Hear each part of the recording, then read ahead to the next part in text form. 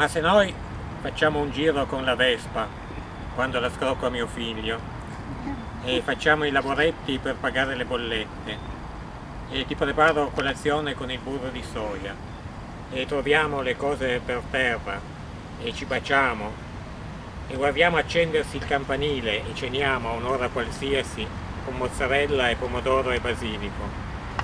Ma se noi parliamo di tutte le cose del mondo e ci buttiamo sul letto a un'ora qualsiasi. E facciamo l'amore e andiamo la sera nei posti dove si sente la musica gratis e la poesia.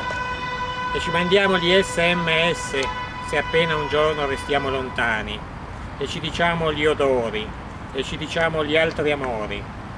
Ma se noi la casa è piena di scatoloni e lo yogurt del discount da un euro al chilo un'ora qualsiasi facciamo l'amore e ci addormentiamo nudi e ci stupiamo che sia passato il tempo, ma pazienza, lui passa, noi per mano, noi, tu, tu come puoi pensare che ci manchi qualcosa? Yoga. Tu, un'amica mi ha detto che adesso simpatizzi per il veganismo e già so che fai yoga e acro yoga ami la bellezza e la natura, forse stai attenta a non calpestare un insetto. Forse hai uno sguardo buono anche per ragni e scorpioni.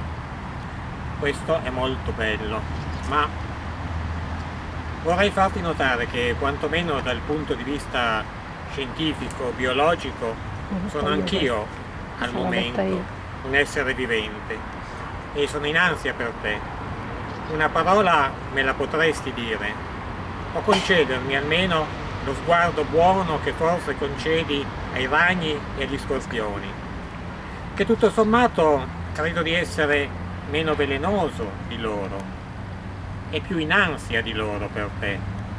Anzi, guarda, secondo me ai ragni e agli scorpioni di te non gliene fotte un cazzo.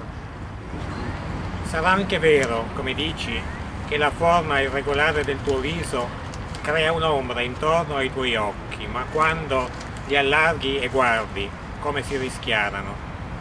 Sei fatta come un passero, il torace carenato, i piedi lunghi che quasi potresti appollaiarti sopra un ramo sottile. Sei leggera, forse voli.